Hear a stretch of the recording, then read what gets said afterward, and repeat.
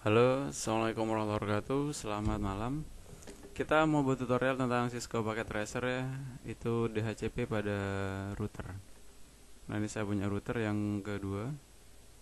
Saya punya PC Kita mau koneksikan dulu pakai kabel cross.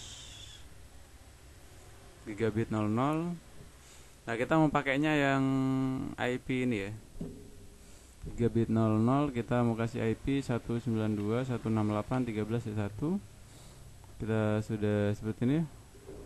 Terus kita ini belum kalau DHCP nya belum ya belum aktif ya. jadi kita mau buat dulu DHCP nya wow dapatnya segini ya. Oke kita setting dulu DHCP nya di CLI kalau awalannya sih biasanya enable ya pertama ya ini perintahnya.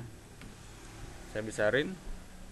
Enable configure terminal.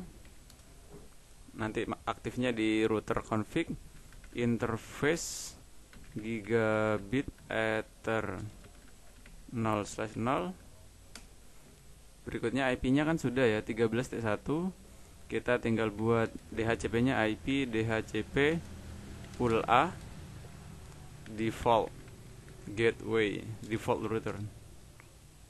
Default router 192.168.13.1 network 8 13 eh 13.1 255 255 2550 sudah guys sampai sini aja. Ini sudah selesai nih.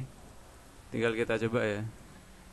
Nah DHCP 13.2 seharusnya dapat ya.